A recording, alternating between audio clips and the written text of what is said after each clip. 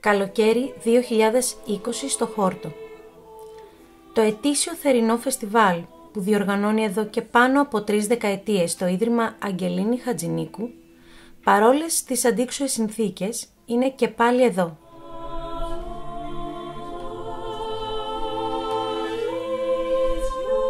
Τηρώντας αυστηρά κάθε αναγκαίο μέτρο υγιεινής και ασφάλειας, καταφέραμε και φέτος να υλοποιήσουμε δράσεις που κρατούν ζωντανή τη σχέση του φεστιβάλ με τις τέχνες και τον πολιτισμό.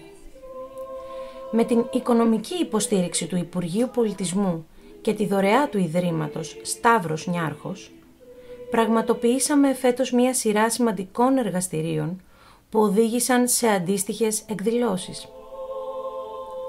Εργαστήριο και συναυλία ελληνικής παραδοσιακής και ανατολίτικης μουσικής. Παράσταση ΕΑΣ του Γιάννη Ρίτσου. Θεατρικό εργαστήριο Προμηθέας Δεσμότης του Εσχύλου και Αζής Νεσίν με το έργο «Σώπα μη μιλάς». Εργαστήριο νέων μουσικών, open orchestra και συναυλία κλασικής και σύγχρονης ορχιστρικής μουσικής. Προβολή του επαιτειακού ντοκιμαντέρ για τη ζωή και το έργο της ιδρύτριας Πίας Χατζηνίκου Αγγελίνη με αφορμή τα 100 χρόνια από τη γέννησή της. Χοροδιακό εργαστήριο για σπουδαστές διεύθυνσης και συναυλία με έργα Ελλήνων και ξένων συνθετών.